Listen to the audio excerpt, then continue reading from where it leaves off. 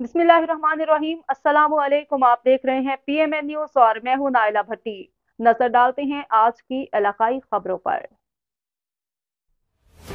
नसीराबाद से खबर शामिल करते हैं हमारे डिस्ट्रिक्ट रिपोर्टर नादिल लहड़ी की रिपोर्ट के मुताबिक डब्ल्यूएचओ पाकिस्तान के हेड डॉक्टर पलीथा माहिपाला ने नसीराबाद का दौरा किया। डीएचओ नसीराबाद ऑफ़िस पहुँचने पर deputy commissioner Naseerabad engineer Ayesha Zehri ने इनका इस्तकबाल किया।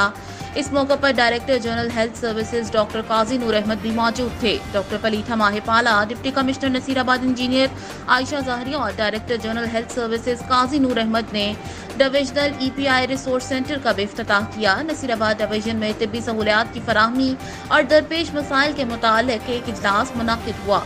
इजलास में deputy commissioner Naseerabad engineer Ayesha Zehri ने ब्रीफिंग देते हुए बताया कि जिला नसीराबाद में मुश्किल हालात के वक्त डब्ल्यू एच ओ ने जो यहाँ के मुसीबत जदा लोगों की खिदमत की है, वो काबिल सताइश इकदाम है। सैलाब के दौरान मुख्तलिफ़ मुख्तलिफ़ मुहलिक अमराज के अद्वयात की फराहमी से ज़िला नसीराबाद में मुखलिक अमराज पर काबू पा लिया गया और बीमारियों के तनासब में काफ़ी हद तक कमी वाक़ हुई। इस वक्त ज़िला नसीराबाद में आवाम को हेपेटाइटिस बी, सी लेशमिया और मलेरिया समेत दीगर अमराज का सामना करना पड़ रहा है, जिसके लिए फौरी तौर पर इकदाम की अशद ज़रूरत है।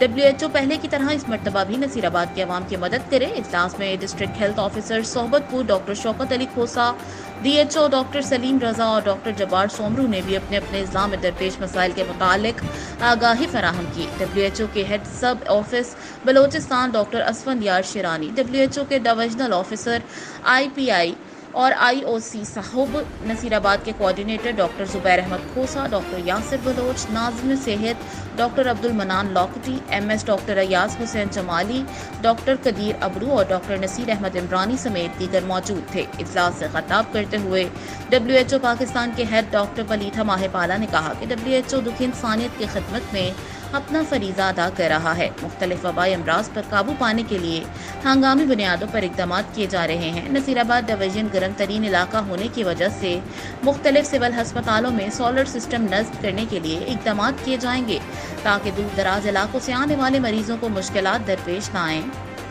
जदीद तकाज़ों से हम आहंग एक्सरे मशीन, जबकि उस्ता मोहम्मद के डेंटल यूनिट के क्याम का भी ऐलान किया। डॉक्टर पलीथा माहिपाला ने टीचिंग हस्पताल डीरम डेरा मुराद जमाली के मुख्तलिफ़ यूनिट्स का भी जायजा लिया। डॉक्टर जुबैर अहमद खोसा ने बताया कि डब्ल्यू एच ओ ने इस वक्त गायनाकोलॉजिस्ट एंथेजिया सर्विस फराहम की है। डब्ल्यू एच ओ की बदौलत अब जिला नसीराबाद की हामला खातन को किसी दूसरे जिला में जाने की ज़रूरत नहीं। डब्ल्यू एच ओ के ताउन मकामी सतह पर इनको सहूलत फराहम की जा रही है।